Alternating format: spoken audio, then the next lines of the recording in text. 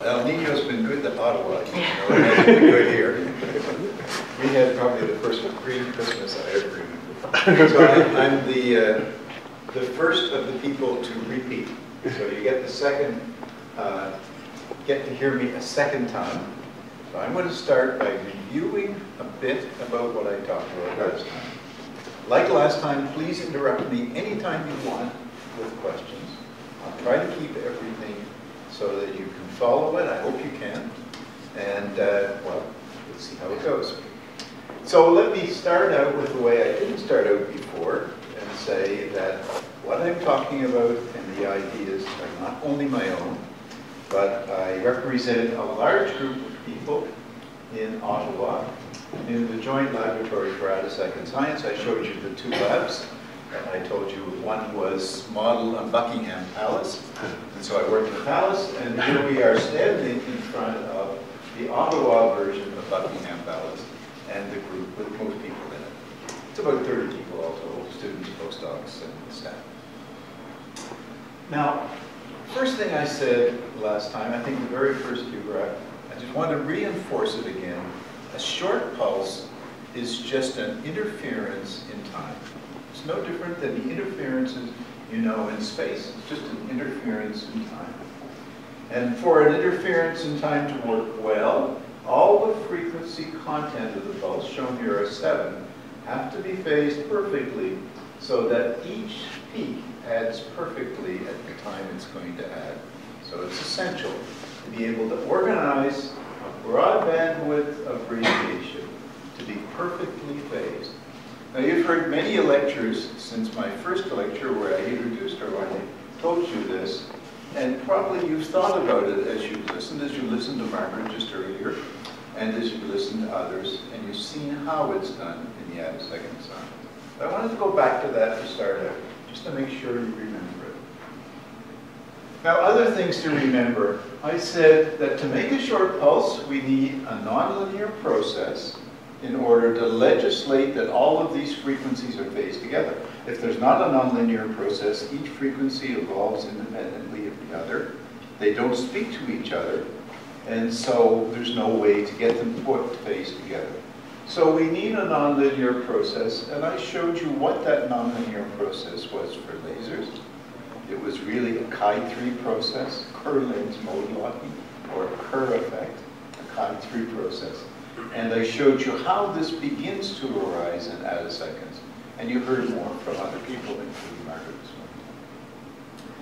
I also talked about how it's important to measure, so to measure something, to measure a short pulse, we have to know how they're all phased together. We can't just measure independently frequencies. If we measure independently frequencies, all we know is the bandwidth. So we have to be able to link those, and that requires a nonlinear process. And in the last lecture, I talked about how these nonlinear processes can be used in autocorrelation. And in FROG, I introduced both of these ideas. I didn't tell you how we make these kind of measurements in attoseconds, and nobody has brought it up yet, at least directly, so I'm going to talk about it next. Or not next, but very close to next. Okay? And then finally, I talked about how we make fast measurements, fast measurements, and largely that's pump and probe, and that is intrinsically nonlinear. So nonlinearity is deeply built into everything here. And in conventional femtosecond lasers, this is all Chi-3 or low order nonlinearity, and in attosecond, it's a lot, not the only, but it's a mixture of both. I showed you this figure, and I said that all of the work done uh, really up to around here in the mid-1990s was all based on Chi-3 nonlinearities, learning to control these and use them well and integrate them with lasers, and of course dispersion control, which is not shown on this. And the work that's led to the advances afterwards is all coming from this very high order, extreme nonlinear optics, and that you've heard many people's perspective on as you've heard talks over the last little bit. And I introduced some of the ideas of this extreme nonlinear optics in a very qualitative way. And I gave you an assignment. I don't know if anybody did it, I gave you a couple of assignments. I said, start to work out some of the trajectories involved in this problem, and we spent some time talking about those trajectories. We said that an electron that ionizes in a time-dependent field, for example, there's just one cycle, and if it ionizes it relatively late in the phase of the cycle after the peak of the field, if you do F equals ma, which some of you might have done, it comes back and collides with low energy, low energy relatively early, giving out a burst of radiation as it gives out its energy to a photon by recombining to the ground state. Or alternatively, as it induces a dipole, and the dipole oscillates because of the interference of these two. These are just two alternative perspectives on the same process. An electron born earlier will come back later, giving you higher frequency radiation. These numbers, these numbers are arbitrary here. You heard from talk that it can go to a kilovolt. And a number that's born at the optimum time, just 17 degree phase after the peak. The number that's born in the optimum time comes back and collides at the zero crossing of the field, or very near it, and it has the maximum energy in the problem, and you see this number come up periodically, 3.17 UP plus IP. That's the maximum number. And Margaret just spoke to you about how you can increase that maximum number and push it out. And we also talked about the possibility of other trajectories coming later, and there is two possible energies from each trajectory, but in a real phase match situation, in a real laboratory, they have a different divergence, and you can set up an experiment so that these later, longer trajectories, or later, later returning ones, can diverge, and you don't have to look at them very much. So largely we can concentrate on these. And these are the recollision electrons give the radiation. This is the nonlinearity. This whole process is converting infrared photons to very high energy photons, so it's really nonlinear. It's just a funny way to look at the nonlinearity. We don't even think in photons mostly. Only here and there do you think in photons. Most of you don't. It's just a, a different way to do it. And I also gave you this quantum perspective on it. I said that what I said classically could be transferred into a quantum mechanical way of looking at it. The quantum mechanical doesn't have a real particle, of course, that really ionizes. It has a wave function, the ground state often of the atom, but it could be whatever is the ionizing this, uh, um, state of the atom or molecule or solid. The electron tunnels or ionizes in some way, it has to get free. Tunneling is the most beautiful way to think of it getting free. Out comes the electron by tunneling. Tunneling creates a more or less continuous wave function. Actually, you heard about how you calculate that in the talks by Lars Madsen yesterday. And he actually talked about how you find out what happens out here in the continuum and what happens inside, and you match the wave functions. So it's the beam splitter. That's what he really described. He just didn't use the word beam splitter. It's a beam splitter for the wave function creating a wave packet plus the wave function. Two parts of the same wave function. The wave packet moves with this classical light motion. Each moment of birth, each trajectory is a portion of this wave function. And I said that you would even think about working out these classical trajectories and the classical action of the electron along these trajectories. And the sum of these trajectories is that wave packet. The final step, the electron recolliding, is the interference between the two components of the wave. And I said, I, I ended up, I think that's the only thing I'll do with the review. I, maybe I have one more. I ended up with this image, which tries to make very qualitative so you can feel in your fingers why the harmonics are emitted, why they have a clear phase, why they work so well. So here you see what was an initial wave packet, wave function, sorry, that was Gaussian in this image. So you know what a Gaussian looks like. Here you see an image of a recollision white electron coming back from the left, from left to right. I gotta make sure I get it from your. Coming back from the left and the right, it's shown as a plane wave coming in. Of course, it's coming in like this.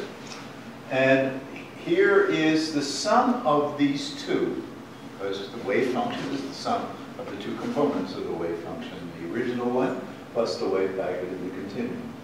But of course, the probability of finding the electron is given by the wave function squared, so here's the square. When you square it, these bumps that stick up in the wave function are more prominent because of the squaring. So this is just the squaring of that. And then this is the dipole. This is just projecting it onto the dipole. Where's the charge? Is it to one side or the other? Here's the dipole, and that's the dipole at this moment, or this overlap between the wave function and the wave packet, or wave function and the wave packet. But the wave packet is moving very rapidly, and so very rapidly, this is the interference pattern. Now you know how to look at it. The wave uh, the dipole has moved to the other side, and as this wave packet pro propagates through the wave function, there's an oscillating dipole. The oscillating dipole emits radiation. In fact, if you were to look at the wave packet coming back, that's the F equals ma calculation, you would find that the frequency of this, the frequency, which is the momentum, is increasing with time, and that's the chirp that I showed you from a classical perspective earlier. So you can see everything here. And you can see why the amplitude and the phase of the emission is so coherent and so beautiful at the single atom level. And in the multiple atom level, you just heard about in the last talk you heard about from Ken Schafer yesterday. You can represent that dipole here. You might want to just look at it for a moment. The dipole is given by the wave function times the recolliding times r times the wave packet coming back. If we think of it as a plane wave, it's got some amplitude at momentum k. It's got a e to the i kx, e to the i omega t.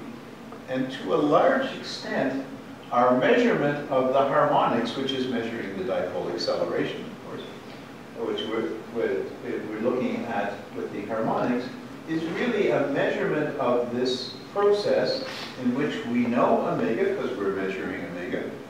Maybe we can assume omega relates to k, so in some ways we know k.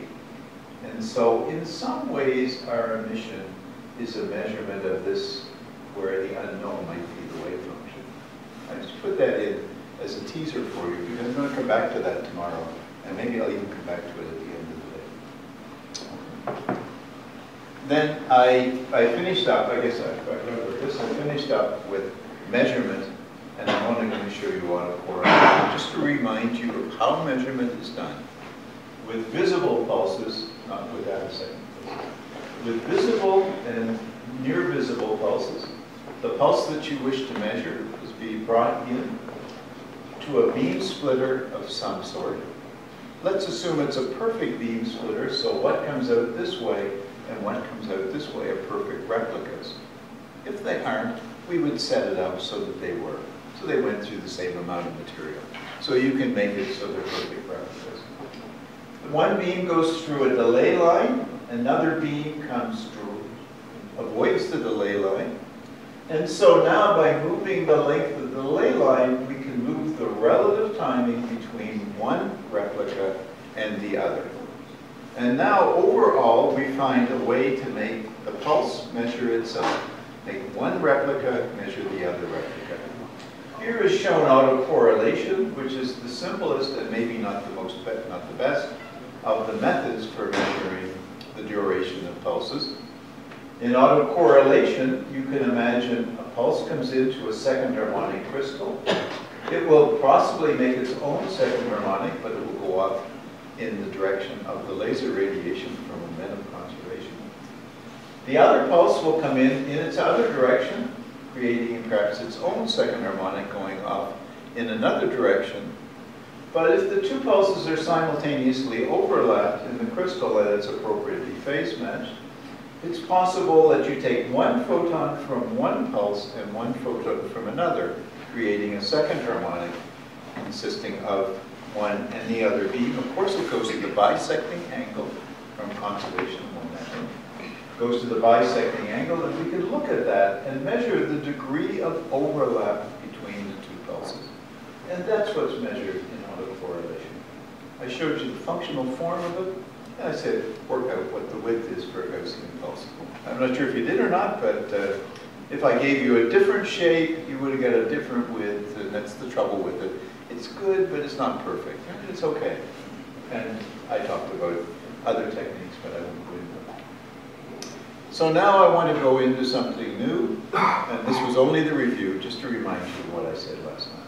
And some of them were reinforced by others, although I took a much more laser perspective in my first, my first talk, because I wanted to give you the background. So now uh, I want to go to measuring attosecond pulses. How do we measure an attosecond pulse? If you go back to this, it looks kind of discouraging. You can say, I'd like to do the same thing, but you know, where are you ever going to get a beam splitter for an attosecond pulse? It's got a huge bandwidth, as you know. So what could possibly be a beam splitter? Just it seems hopeless. I think it is hopeless. It seems hopeless anyway. And uh, well, you bring the beams around, let's imagine it wasn't hopeless, if you could find a way to do all of this, what are you ever going to get for your nonlinear medium for an attosecond pulse? We heard Linda Young talk about how X-rays are just don't do much nonlinear at all yesterday. So um, we're not going to very easily find a nonlinear medium here, at least we'd have to look hard. And one we understood would even be harder, I'm sure. So it seems hopeless.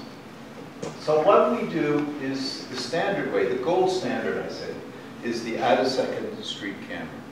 So the attosecond streak camera is rather a simple idea. In some ways, it's a retro idea.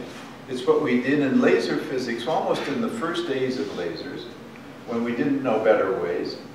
And the idea was you bring the laser beam in to be measured, you photoionize something with it, in the early days of lasers, you came into a photocathode and made electrons in a photocathode and sort of hoped that these electrons were a replica of the pulse that came in. And then you tried to measure this replica pulse in a streak camera. I'll show you an image of what the streak camera looks like in just a moment.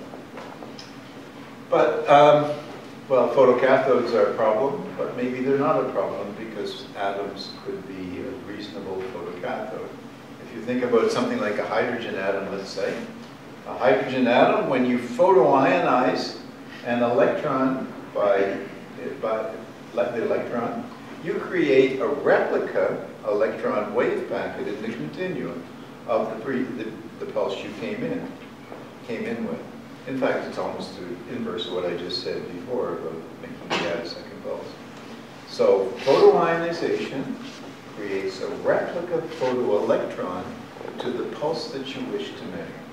It's a replica in amplitude, although it's interpreted through the transition moment, but for simple systems we would understand it. It's interpreted through the transition moment, and it's a replica in phase, again interpreted through the transition moment. So as long as you don't have a transition moment, the photoelectron wave packet that you create is a replica of the attosecond pulse that you brought in, or the pulse, doesn't have to be a attosecond pulse. And so the trick is to try to measure this photoelectron replica instead of the attosecond pulse itself. Okay? Just to make sure it's clear, here's an image. I took it from uh, uh, an image from um, Ferenc Krausz of how a streak camera works, and I'll just take, tell you where, where the changes are. We brought, you would have brought a pulse in to be measured, to a photocathode. We're going to replace the photocathode with just a gas of atoms. But that doesn't make much difference. We make photoelectrons.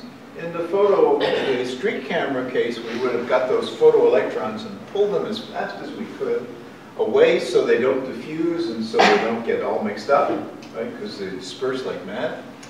Uh, we would have pulled them as fast as we could in between deflection plates and then the first electrons would see a rising voltage and get deflected more and more and more and more the later and later they came in, or depending on which way the field is going.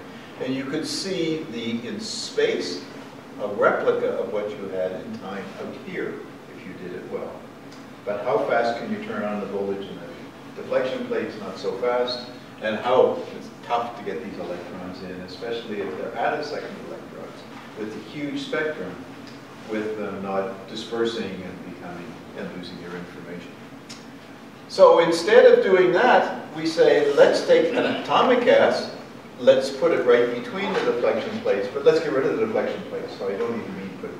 let's use a laser beam, which is a time-dependent uh, time-dependent electric field. So just something like a sweeping field that you put in the deflection plates can be placed by a laser beam itself. So use a laser beam instead of the deflection plates. Put the atoms right there in the middle of the laser beam. Create electrons so that they immediately see the field. And then, well, so replace the photocathode with atoms. I'm going through these. I should go back. Replace the time varying electric field with an infrared laser beam. The beam you use to create the attosecond pulses are just fine and is used by almost everybody and measure the energy of the electrons instead of the displacement, but it's the same idea, right? You know, measure the lateral energy instead of the displacement. So that's the idea of the attosecond streak camera. It's a conventional streak camera concept moved into the attosecond camera, and it works very well. Just make sure that you understand now how it works, and I'll take two images, just simple images, to re reinforce this before I go through. An atom photoionizes, creating a photoelectron replica. These electrons from photoionization will, can be going in any direction they wish, consistent with the transition moment that created them. So I will assume that they're going in any direction, but of course this could be modulated by a directional component of the transition moment. I'll represent them by their velocity. Their velocity is given by the photon energy minus IP. In this case, the, it's a range of photon energies minus IP. So you might say I should represent this by a wide distribution, but that gets kind of awkward. I'll show you the experimental results and you'll see the wide distribution in a minute. Okay? So now, this is the initial photoelectron distribution that you've made, represented this way. Now let's do the same thing, but create the electrons in the presence of an infrared field. We might create it when the infrared field is peaked. If we do that, and you follow F equals ma, just integrate it like I asked you to do yesterday, you will find that the photoelectron distribution is unaffected if it's created right at the peak of the field, and so I represent it there by the same circle we had before, one without. That is, if you integrate out to the end of the pulse, for a pulse that integrates to zero, from the peak of the field, it will come back to where same velocity that it was created with. However, if you create the photoelectrons at different phases, let's say at the zero crossing, they're moved off to the left or off to the right, depending on which way the field was pushing these photoelectrons, and then you integrate to the rest of the pulse. So I just happen to know, I don't integrate the rest of the pulse, I know when it's made the it into the field. But if you want to prove it to yourself, take some short pulse, make sure the field integrates to zero, so it's a realistic short pulse, one that can be radiated, created at the peak of the field, integrate out to the end, and you find out what I said. So it can be an assignment again, I didn't make it up as an assignment. I have something different in this. So you can calculate what happens to the velocity of these electrons, and as you can see from the image, it depends in the direction you look. So we're going to want to look at some particular direction, and we're going to watch the what happens as we create and uh, put it attosecond pulse. Now let's imagine the attosecond pulse itself. It has some duration, so some part will be created here, some part can be created there, not only at the peak of the field, so this distribution, which is shown in black, will be spread out a bit.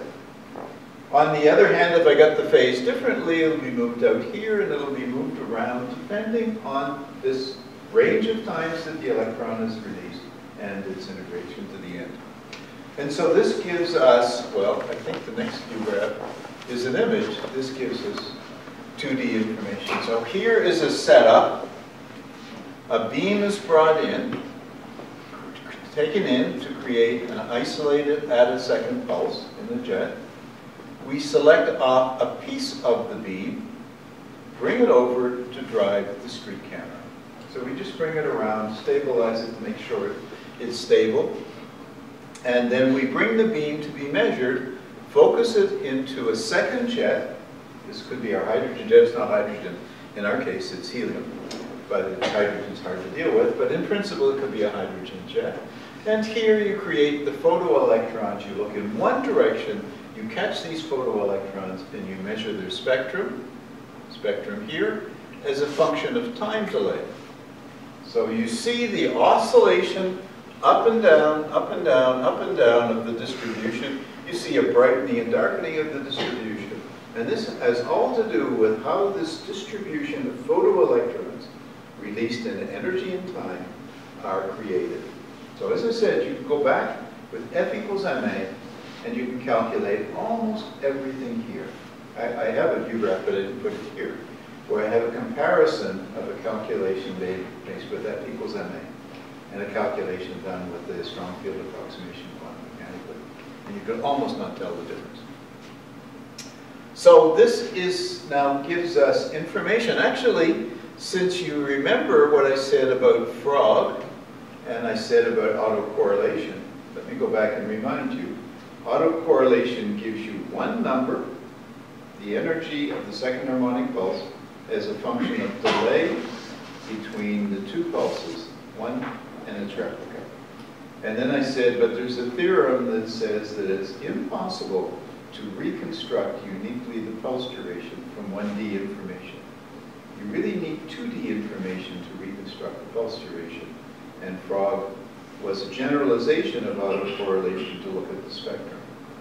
So here, we equally have a two-dimensional information. We have energy and delay. It's like spectrum and delay, so we have almost FROG-like information. In fact, we can do a FROG reconstruction or something very similar. Okay, so that's the idea of attosecond measurement. I'm going to show you an attosecond pulse, and I'll come back to attosecond measurement because I'll show you it applied in a minute. But I wanted the concept to be clear. So, anybody with questions? Yes, please. Uh, is the assumption here that the second pulse is weak compared to the infrared pulse? Um, So you can do F equals ma with the only infrared pulse? I think that, yeah, this, this base, I suppose it is in a sense. Uh, They always are weak in a sense. You're struggling always for photons because cross sections are relatively small and beams, yeah, I, I guess it is. Um, it probably would be hard to get a realistic case where it would not be. Yeah, I, uh, I'm sure yes. It's so, so much so I didn't think about it very carefully before. That's why I'm stopping and hesitating a bit. Yes, Which uh, pulse does the photoionizing? Is it the TISAF or the? Oh, no, no, no, it's the attosecond pulse that's photoionizing. The TISAF has to be there only to accelerate the electrons, but not photoionized or not photoionized in any way that you cannot distinguish.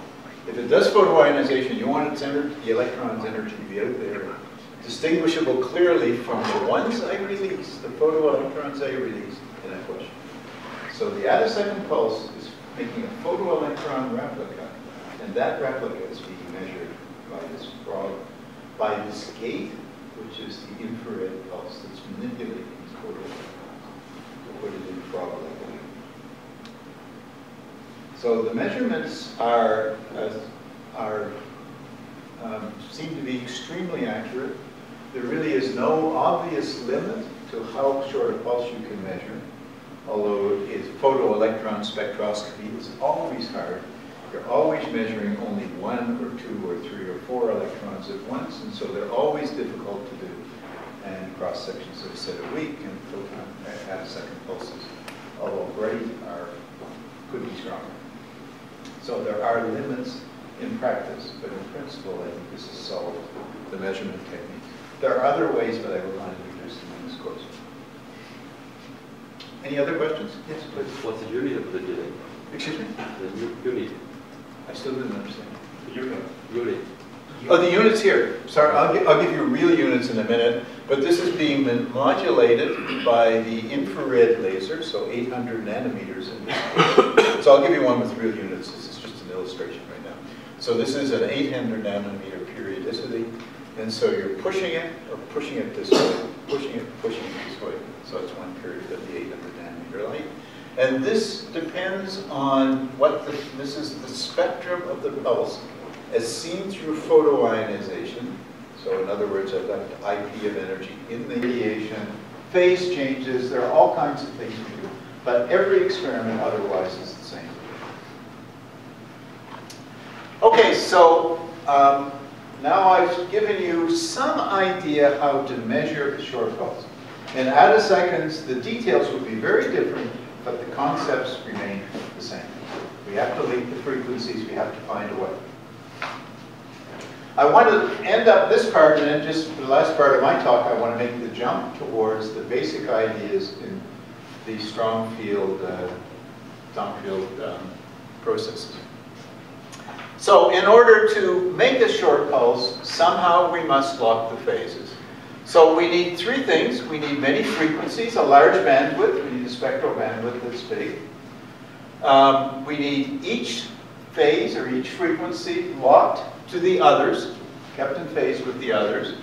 Um, and we not, must not only get them in phase, but as they work, propagate around in the cavity, we must keep them in phase. This is a modern uh, femtosecond laser, which can go down to about a cycle or a few cycles if it's carefully designed. And it has very few elements in it. It has mirrors that are always essential for the laser. It has a gain medium. Ti sapphire is frequently used because of its very large bandwidth, satisfying the many frequency criteria.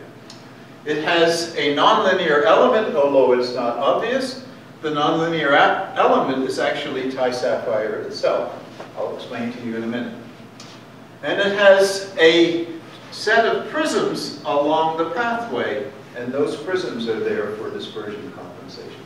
And so I'll describe that to you as well. And these are the two critical elements in a modern laser. A nonlinear element, which is the material itself in many cases, and some method for phase or dispersion control, which in this case is two prisms. so let's deal with the issue of dispersion control first. We've already discussed this a little bit. If we have a very short pulse by hypothesis, and we bring it into a material, just low intensity, ordinary propagation through any material, every material has a refractive index as a function of frequency, except the vacuum. And so every material will disperse the pulse. The pulse that comes in, that could be transform limited, comes out with a chirp in it. You recognize that. We described it before, a chirp pulse. And in fact, the chirp pulse will look very much like this, with the red in the front and the blue in the back. For most materials, this is normal dispersion. So when you make an oscillator with two mirrors and you think of the frequencies that can sit there that will add to give you together to give you the short pulse, a re real oscillator has frequency-dependent mode spacing. Because the dispersion of the material makes the material effectively a different length for each frequency. It's exactly like a real molecule versus a harmonic oscillator. In a harmonic oscillator, the levels are separated by an equal spacing, each level one from another. In a real molecule, you have a uh, non-harmonic potential, and the vibrational modes are separated by something that are not equally spaced. If you create a wave packet in the molecule, it only moves a couple of times until it disperses and it's almost unrecognizable after a few oscillations. Um, if you create a wave packet in, the, uh, in an oscillator, a short pulse, if you don't do something, it will also spread out in phase and become unrecognizable over time. So in order to uh, overcome this, we need some sort of dispersion compensation. So it turns out that the refractive index has two effects, of course. The refractive index, as we all know, creates light that separates in a prism, that's in fact the dispersion of the material, that the refractive index is different for each color. And of course it has the effect of giving us a chirp pulse as well. One in time and one in space. And so, although it took 20 years in order to discover this from the beginning of mode locking and people worried about how to get around the problems of pulse dispersion, it turns out it's quite straightforward. You try to get dispersion in space to compensate for dispersion in time. Let me just show you how this works. Let's assume we have a short chirped pulse coming into the material. The different colors, when they come into a prism, are dispersed differently. The light goes through a different path, depending on its color. And when it comes up to a second prism, correspondingly positioned, as shown here, the light will compensate and go back parallel to itself. But you will find, if you come out here to a wavefront, and you trace the path length, the path length in space, and the path length through the material, the effective path length, you will find that the different colors have gone through different path length. And so you can have one color catch up to the other. In fact, it's like, it's, it works very well, so you get normal dispersion, and by putting in a prism compensate there, you can compensate for normal dispersion. The blue will catch up to the red. However, they're offset, as shown here. The blue now is offset to one side, the red to the other side. If you put a mirror and bounce it back on itself, it undoes itself in space, but the path lengths remain equally or doubly different. And so you can have now the blue catch up to the red without the spatial consequences that seem so devastating when you think of prism in the first place. All beams, all colors are still going parallel. They're going parallel in the opposite direction. And depending now on how much material you put in, move this back and forth, this has normal dispersion and this has anomalous dispersion. You can compensate and make the balance, so normal and anomalous dispersion equal each other. And that's what's done in many modern femtosecond lasers. And that's the reason for the prisms. Now the second thing I want to talk about is how are the phases locked? How are the phases locked together? This is done by Kerr lens mode locking, the Chi3 the uh, process, the nonlinear process I talked about in the first place. All, all frequencies approximately the same thing. But it's easy to see this qualitatively if you think about it. Imagine you have a low intensity pulse coming into a piece of material. Any piece of material will be is fine. In practice, it will be the Ti sapphire crystal that will be the lasing material that is the nonlinear material as well. If it's low intensity light and the sides are parallel, it's just a block of glass or a block of material, nothing happens to it. However, if it's high intensity light, the refractive index, the refractive index depends on the intensity in this form, um, n sub 0 and n2 i, where i is the intensity. And the intensity has a spatial property to it. The intensity is a Gaussian beam or something like a Gaussian beam in all cases. Doesn't go on forever. And so the light that propagates in this case will have its phase delayed because of this extra refractive index relative to what's out at the edges where the intensities are low. And so the beam will naturally be focused as it propagates through. This is like self-focusing. It's really the same idea as in self-focus. In fact, its frequency content will also be increased. But it's sufficient here to think of only the spatial properties. So a real pulse, which has low intensity at the front, high intensity in the middle, and low intensity back here, goes through unaffected, unaffected, focused. Right? So that's what happens, and that happens inside the laser. Here's an illustration of that process. Here's the pulse coming in. It comes into the nonlinear crystal here, through a lens or through mirrors, but through a nonlinear crystals. The part that's best focused is comes out, and you just set up the second lens, so that's the one that couples back into the cavity best. And all of the low intensity stuff doesn't couple nearly so well into. Now you favor, the cavity favors the high intensity part, or the part right in the center, and it suppresses the stuff out in the edges, the low intensity pulse. Squeezing on the pulse.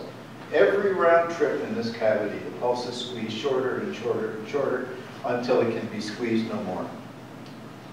And so that's what it looks like. That's a, uh, a relatively modern femtosecond laser. It has almost no components, mirrors. These are just mirrors to concentrate on the nonlinear crystal, so just a set of four mirrors. Uh, a Ti sapphire material for lasing. The beam set up optimally for self-phase modulation here, linking all frequencies in the cavity by this squeezing that I described to you before. And then its dispersion is controlled by a prism sequence. In some lasers, you will see the prism sequence removed, and you can put chirped mirrors in all places where you have mirrors to replace the prisms. Uh, those are sometimes better because there's nothing to move, but sometimes they're worse because there's nothing to move. So it depends on your perspective. If you don't want to touch anything, get chirp mirrors. If you want to be able to optimize, then uh, play with prisms. So there's the uh, there's the pulse I showed you before, and that's made by a system. Okay, so now I've covered, I hope, the, in- how short, how you describe short pulses, the technology for measurement, and the technology for making them. I won't talk about amplification, that's also important, but this would be only, this would only be lasers then. I want to use the last, I have about 10 minutes left, my last 10 minutes, to make the jump towards the physics of adversary.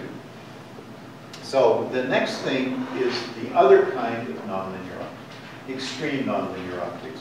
That's what allowed this jump in pulse duration, this changing in the slope, and allows the advances that have taken us to adversary. To me, in some ways, this all starts out 50 years ago. 50 years ago, Keldysh, writing in the uh, Soviet literature in 1964, so it was 1964, wrote a paper which he called ionization in the field of a strong electromagnetic wave. Uh, in this paper, he described placing an atom or a solid, he did both, they were simultaneously treated inside. In the case of a solid, you can think about a band-to-band transition. In the case of an atom, you think of ionization. So ionization is what was termed, by deal- deals with solids as well. And in this paper, he said, if I were to think about using infrared, strong electromagnetic infrared pulses, long wavelength, well, he actually does with many pulses, many frequencies, but infrared is the most interesting here.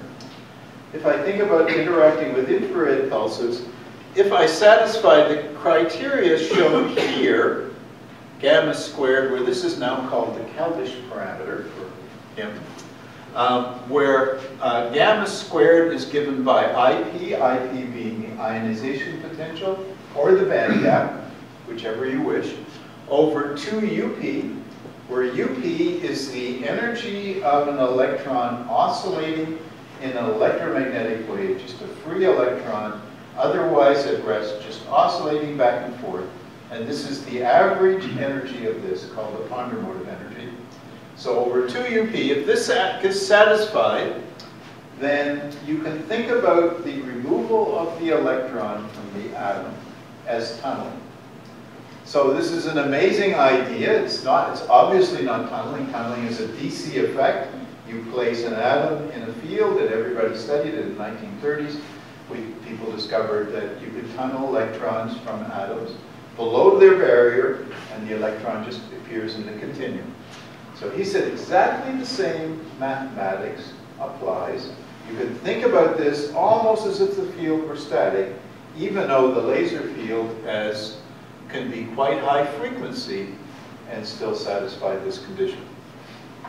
To give you some idea, UP um, is the classical motion of electron. It's about 6 eV for 800 nanometer light and an intensity of 10 to the 14 watts per square centimeter.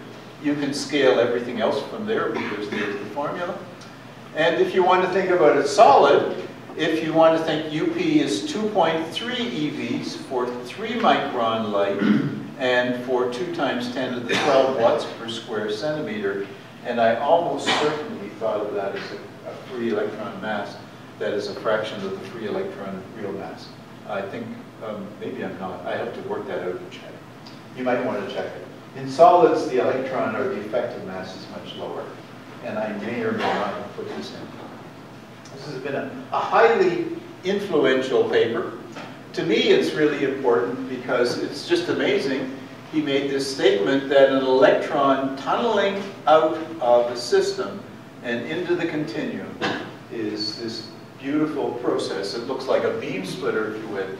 It's amazing that a static field theory describes something that happens in the time scale of the laser pulse changing the field and the window open for tunneling inside, say, an 800 nanometer laser pulse can easily be only around a few hundred attoseconds. So ama amazing again, that a static field could, a static theory could describe this. So, thus in 1964 made the first step towards attosecond science, I think. And even inside, hidden inside his paper, is the second step. He never commented on it. I don't know how much he, how much he thought about it. And the second step was to say, what happens to the electron after it's created? I won't go through these equations. They're relatively straightforward. They're just equal F equals ma.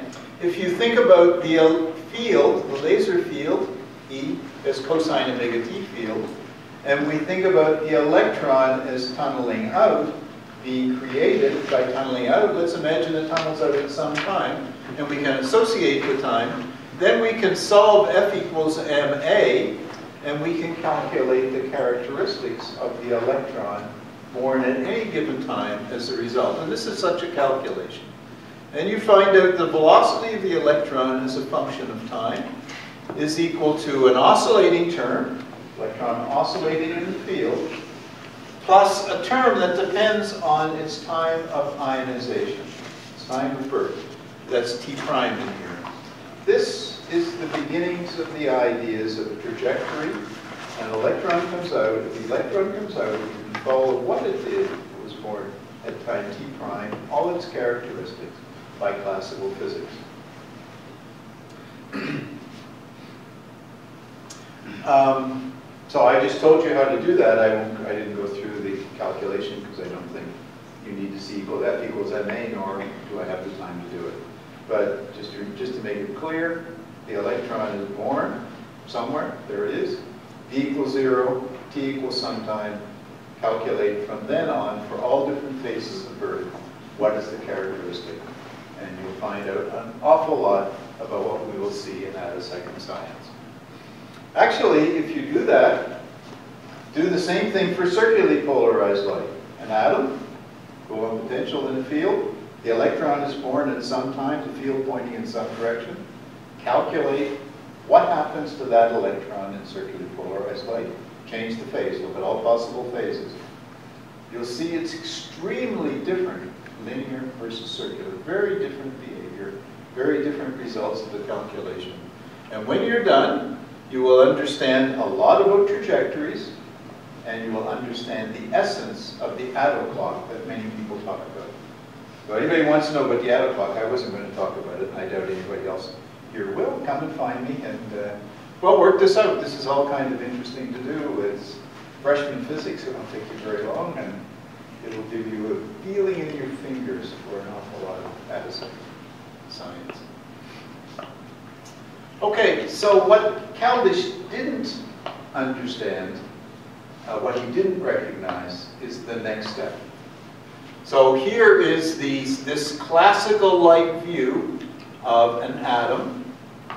I told you that a moment of birth maps by F equals ma to a trajectory of the electron. You can calculate what time or under what circumstances that the electron might be driven back and collide with the ion from which it went. Let me just make it clear that it could easily happen. Field is pointing, say, that direction, or force on the electron is that direction, don't to worry about the charge. The electron is pulled away, the field changes its direction, the electron is driven back, collides, recombines. Okay?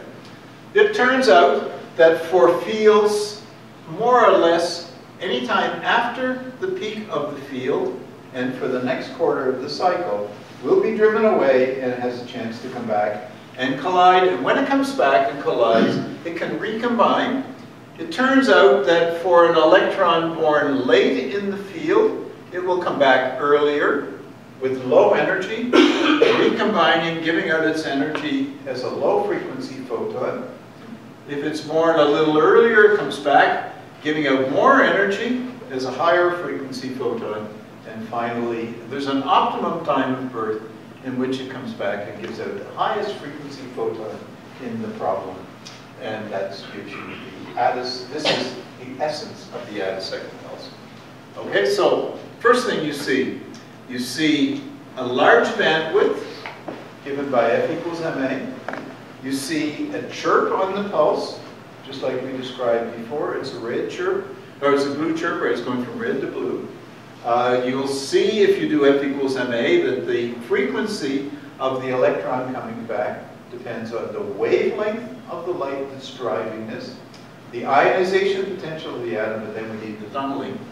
Uh, depends on the field at which the electron is born and things like that. But this can easily go up to kilovolt. Not easily, but it can go to kilovolt under some circumstances.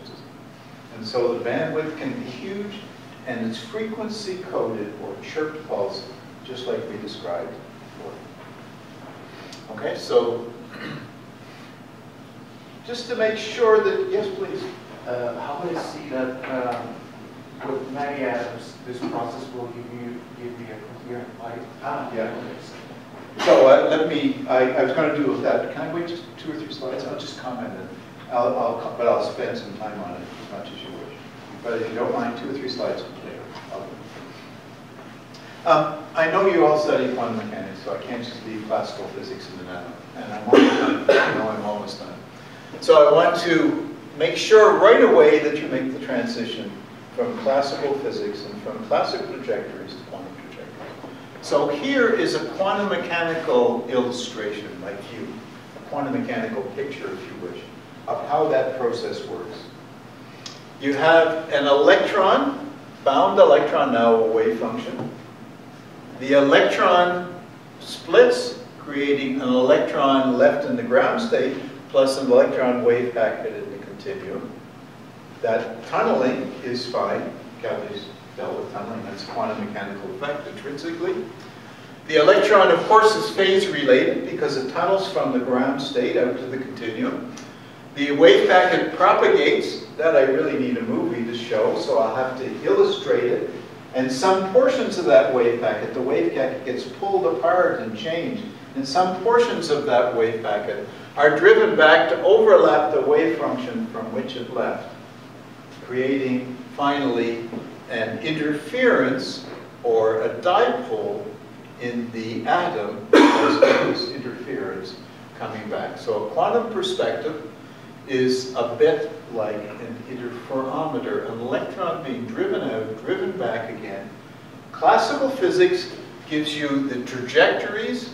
You can make it semi-classical physics and get the electron phase along the trajectories.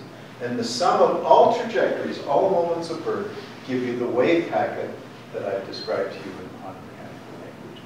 So this is a wave packet, which is a bit like a So which, which fraction of the electron gets scattered typically? Excuse me? Which fraction of the electron gets scattered in typical experiments? Generally, we don't tunnel, we don't, you need something back here, right? There's no, Right. it's, oh, it's clear, you need something back here. You can't go back to an empty state. Right. This is like any nonlinear process. You go back to the state from which you left, and you left lots of population. Ten percent, five percent, something like that, small portions. Depends on the experiment, uh, but you don't, you don't generally do too much. Um, Okay, so that's, I just wanted to do the, the last thing, I just want to give you a qualitative picture for this interference or this final step. And so you understand the whole ideas of the, co the coherence. So this is taking and isolating that overlap. Let me just make sure you understand what I'm talking about. Here is the overlap between the wave function and the wave packet. I'm only going to concentrate on that part. The wave packet is going to go across this thing and it's going to do its, and it's going to, I'm just going to take a moment in that interference. There it is. And now I've got it coming back again, and you can see the superposition of two wave functions in this case. A Gaussian plus, plus a recollision plane wave. And there's the sum of the two here, and there's the, uh, the the sum sum of the two, and, well, that's the sum of the two. This is the square to give you the probability, and that's the dipole, therefore induced. And as the wave packet moves, in this case going in this direction, the interference changes, the square is there, the dipole is there, and so you can see the dipole oscillation. The dipole first was there, now it's here. As the interference evolves, it moves back and forth. An oscillating dipole emits radiation. The radiation that's emitted is the radiation. This is the attosecond or higher harmonic pulse, the XUV radiation. That's interesting. This is the dipole, the strength of the dipole that's induced in a plane wave approximation. And the dipole that's induced is the transition moment, or essentially the transition moment. So the electron recombines or induces a dipole two ways to see it. So you can see that the radiation that's created, that's going to become this attosecond pulse, the radiation that's created is, has an amplitude and phase given by the amplitude and phase of the recollision electron as translated through the transition moment of the atom as it goes back down to the ground state. Okay. Uh, I want to make, as I end up this part, and I'm going to almost end and only go a couple more, and I'm coming back to your point, I think, the next one. A couple of things just to make this now practical. The pulse I showed you in the first was only one cycle. You can't make a one-cycle pulse that stops anywhere like I did. You need some real pulse. Mostly in many laboratories, we have a multi-cycle pulse. This is not realistic either, but you can imagine the pulse. What happens in that case? The wave function, a piece of it ionizes, creating a wave packet, comes back, recombines, giving you an attosecond pulse. This happens the next time and the next time because the wave function can be multiply divided. So we create a train of attosecond pulses, one, followed by another, followed by another, followed by another, each separated by half a period of the laser light, a frequency, a set of pulses, one after the other, separated by half a period is a, a set of frequencies. And so if you look at that as a spectrograph, this is a set of frequencies. They're- These are called the high harmonics, high harmonics of the laser light, and the harmonic number can go in many experiments from 1 EV approximately to 100 EV, so 100 harmonics. And in experiments done in the infrared, you probably hear about from Margaret Murnane- tomorrow, you can go down up to 3,000, I think it is 3,000 harmonics. Infrared driver going to. So this is the process of high harmonic generation. Attosecond pulse pulses, almost the same thing. Okay, so now I come back to the what I'm going to say. So of course, I've talked about one atom. And I've talked about a laser beam coming in, so let's make it realistic. Here's a real setup. Lasers out here, all complexity is in the laser. If you want to make an attosecond pulse, you've got to do something to the laser. The beam is focused into a jet of atoms, or a cell of atoms, or a fiber of atoms, or molecules, or in fact even solids it can be in some circumstances. The jets that we use are supersonic jets because we do a lot of work with molecules, supersonic jets. The beam is expanded into the vacuum. It's approximately 10 to the 18, maybe to 10 to the 19 atoms per square centimeter, cubic centimeter. The length of the jets are in the order of a fraction of a millimeter. So that's the number of atoms that we're dealing with. But other people you'll hear here use cells, which can be longer. They can be fibers. It's basically a cell or a fiber. It's like a cell. So there are different ways you can do this. These are not just a single atom process. So now, why does every atom work? As you go along, the laser beam sees one atom randomly positioned. It ionizes, electron comes back, makes a wave packet, and now the wave packet and the light propagate along exactly together. They find another atom, the next atom ionizes, electron comes back, recollides, creating a wave packet which is identical to the first, as long as the first propagated with C, phase matching again, propagated with C along with the fundamental. Nothing about the atom remains. We took the electron from wave packet, from the wave function, and we returned the electron back to the same state from which it came. Nothing of the atom remains. Only the, only the light comes out. We don't know if it stayed there, we don't know if went. Second thing I'm going to show you is I'm going to move a slit through them. This will be like a Shack-Hartmann sensor. Does everybody know what a Shack-Hartmann sensor is? Does ev- all the students know what a Shack-Hartmann sensor is?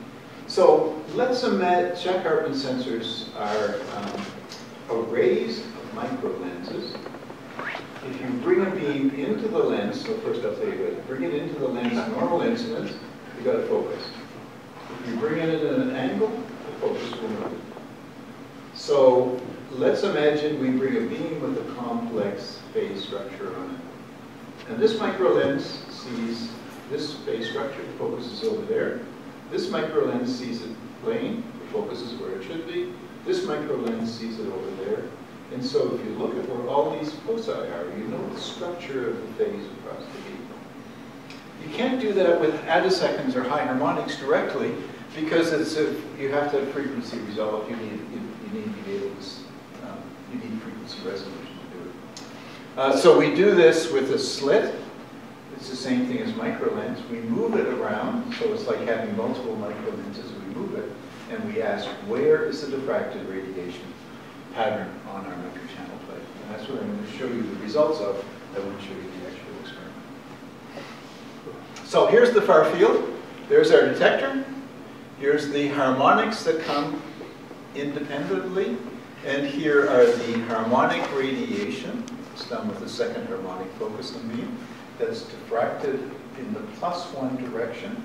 And here's the harmonic radiation reflected in the minus one direction. One focused, one defocused, just like it should be.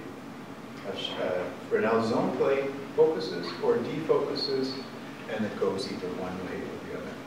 And here I can change the position. I can take the beam from being a converging lens to a diverging lens. In other words, the beam is going out when it hits the or it's coming in when it hits the jet. And so you can see that now I have focusing down here and defocusing out here. So my Fresnel lens works, my zone lens works. And here, I, here's a full characterization, because the Shack-Hartmann sector sensor looks at everything. I can reconstruct everything about the distribution that comes. So there are two diffracted beams, we're only looking at diffracted beams. They're measured 25 centimeters away from this, the, the uh, jet, and so you can actually see it project back, so it's approximately 25 centimeters. You can see one beam expands out, it's deflected, one beam is focused. Of course, it has a virtual focus on the other side back here. And here, there's a similar, um, similar behavior. So if you can build a lens into the material, and it's just one of the things. You can manipulate these, control the harmonics as they're being created in general. Okay, so I think I'm uh, probably at the end. So I want to just uh, give you something to think about. I didn't, last time I said go back and calculate. So I want to cover a few things in the next one. I want to go now into applications of this. So first I talked about lasers, measurements, control, and then substance and application. So I want to address, is it possible to image orbitals? I'm going to come back to that just in two slides, and that'll be my last slide. I want to look at molecular dynamics. Many people have brought up to me, you've got this gigantic bandwidth of an attosecond pulse. How can you possibly look, use it to look at anything interesting? Right? It's an interesting question, and it's a good question. I'll show you one way where you can take it from being a disadvantage to being a gigantic advantage, a huge advantage, making a coherent spectroscopy of time-dependent motion of a molecule. That's the second thing I want to do. And the third thing I want to do is say, we can move some of these ideas into solids. Margaret ended her talk by saying, what happens if we go to higher density material and longer wavelength, and we pretty soon have electrons colliding with some neighbor? Well, a solid, you certainly have an electron colliding with the neighbor, but I'll show you that some of the ideas can move into solids, and it allows you, again, to do unique things, measure unique things in solids that you cannot otherwise measure. So that's the direction. I want to end with two view graphs, if you don't mind, I can take two more. Uh, One is just an autocorrelator, you can see the image right there. You, you recognize that this is an autocorrelator. We have a short pulse coming into a beam splitter, we got one of the mirrors on a delay line. The beam is focused into a second harmonic crystal and into a set doubling crystal. I Put it up, because I wanted to make the statement in the talk. We measure the electric field as a function of time with a nonlinear interferometer. Maybe the autocorrelator isn't as good, but if I change that to a spectrometer, I really measure the electric field, amplitude and phase as a function of time. I could equally measure the electric field as a function of space, should I wish to. Mostly we don't, but you could, just the shear interferometer. Therefore, we must be able to measure wave functions because the recollision is an interferometer. It's an interferometer I can control, just like this interferometer. If I can measure wave electric fields, why can't I measure wave functions? So we must be able to measure wave functions, and we must be able to measure the attosecond pulses as they're created. So I want you to think about that. That's the issue. Actually, I'm going to leave it as one. So before Friday, that's my next talk, my last one. I want you to think about where you stand on measuring orbitals. I'm sure everyone took a first year chemistry course. One of the first things they tell you when you come across an orbital is that it's intrinsically an unmeasurable thing. Only a concept, something to help you think about chemistry. It's not real. And you understand why, right? If you think about the electrons in the system, they're interchanging all over the place. There's no electron in an orbital. So it's an intrinsically unmeasurable system.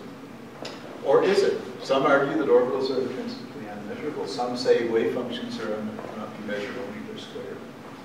So where do you stand on this? And I'm going to talk about it. So I want you to think about it before we talk about it. Okay? That's the it. Okay.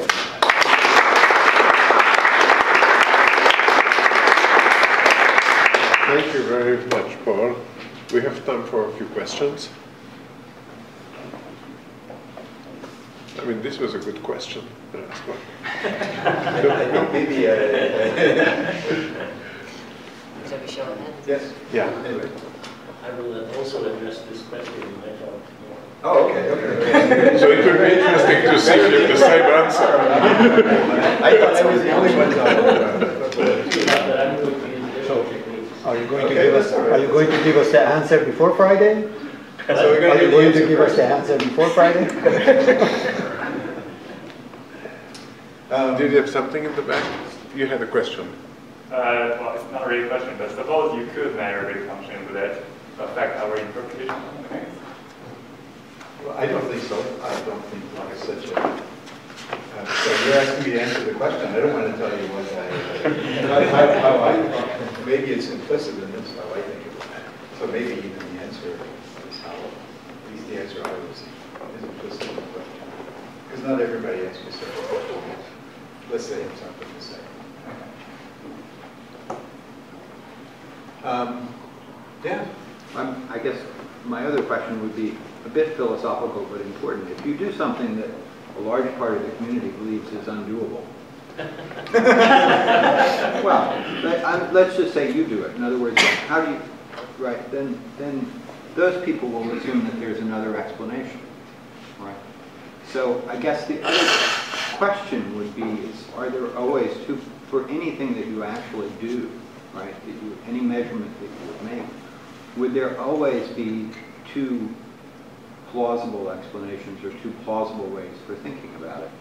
And then it would seem to me that the community would be divided into people that would say it's doable and it's not doable, but they wouldn't disagree on the result of the experiment. Do you agree with that concept? I, I I assume that people would not disagree with the result of the experiment, yes. I, I don't, I will uh, hesitate to enter into an interpretation until Friday. Otherwise, otherwise I, uh, I free them from thinking about it over the next two days, right, or over the next day. Um, I, I mean, you should think about this, this is an interesting issue. I, I agree with you that there, you have to think about what the explanations are.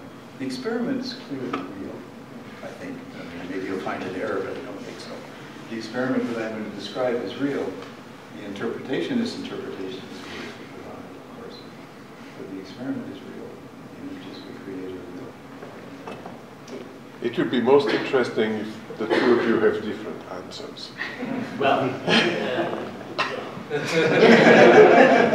I'm, I'm, I'm probably going to present a different technique than Paul will present. I'm going to be talking about electron diffraction. No, but the question, okay. Oh, but this, this is not an orbital, that's just destruction. Electron diffraction is more clear. Well, you'll see. Oh, okay, okay, okay. You know, the scientific process is. Actually, I know it, mm-hmm. pardon? Well, The scientific process is not being right always. I mean, we'd be out of business if we were always right. So the scientific mm-hmm. process is, by definition, Yeah. having competing Yeah.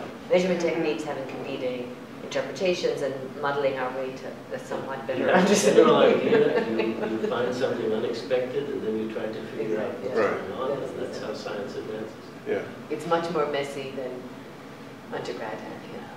I I, look at it. I agree with we've- that. We've discovered, we've learned to understand, I feel, physics, new nonlinearity in a sense. Learned to manipulate it under some circumstances. There are broader circumstances which we cannot, but under some circumstances we have. And so there, we should look for those things that we can do uniquely now with this new nonlinear physics that we could not do before. And so this is potentially one. I'm going to tell you potentially something new in solid state physics. We haven't done that. That's how I am. And, uh, but I think intellectually I will stay within this whole idea of extreme nonlinear optics that I have used as the three, theme of the three lectures. Maybe that's a good, no, you have There, something? there will be another surprise on Friday too. Snow. No, You're kidding? No. Yes. No, but, but, but you know, if I- I- if you bring snow, we fire. I, I almost Send brought them back to boots because there was so Send them snow in Ottawa. and I thought- I. I thought, there's no chance I'm going to get snow in Arizona. This is desert. We've, we've had actually snow at the school in past years. But, but it's not kind of Boston snow. I, I noticed you didn't say this when you invited me to come and speak. It's kind of a monolayer, yeah. Well, thank you so much. Okay, thank you. So five minutes or so to get organized.